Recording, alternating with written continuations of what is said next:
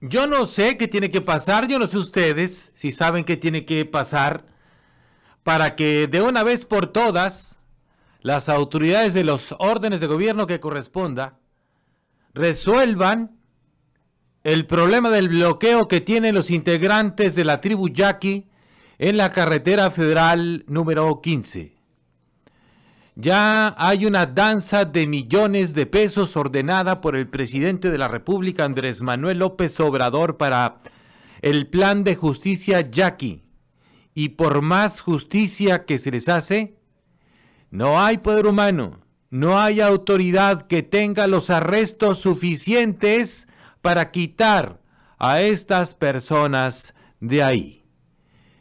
Ya ahora se está viendo otro video de los muchos videos que hay, de los encontronazos que hay entre los miembros de la tribu yaqui, entre traileros, choferes, ciudadanos, familias, comerciantes, empresarios y toda la gente que ya está harta de tener que pasar por ahí, de tener que detenerse, de que eh, estos mm, eh, integrantes de la tribu yaqui no haya poder humano, no haya autoridad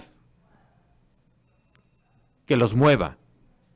Por más planes de justicia que se les han armado, por más dinero que se está destinando, porque hay mucho dinero público, dinero de los contribuyentes, decenas o cientos de millones de pesos destinados al plan de justicia Jackie. ¿Qué tiene que pasar entonces? Ahí para que la gente pueda circular libremente, para que estos integrantes de la tribu yaqui, una etnia emblemática con una gran historia que ha sido víctima de los abusos, de las peores aberraciones que se puedan conocer en la historia y que merecen desde luego un lugar especial, que merecen desde luego justicia, pero también los ciudadanos merecen justicia. Porque la gente que pasa por ahí, la gente que va con sus productos, la gente que va con sus familias, los trabajadores que tienen que pasar por ahí. No tienen la culpa. El hilo se sigue rompiendo por lo más delgado, que es el ciudadano que se tiene que someter a los designios, a las decisiones de esas personas que están ahí. ¿En qué momento esto va a parar? ¿Qué tiene que suceder? ¿Quién se tiene que morir? Dios guarde la hora. Tocó madera, tocamos madera. Pero ¿qué va a pasar entonces? Ya vimos a un trailero haciendo maniobras ahí. Ahorita vamos a platicar del tema.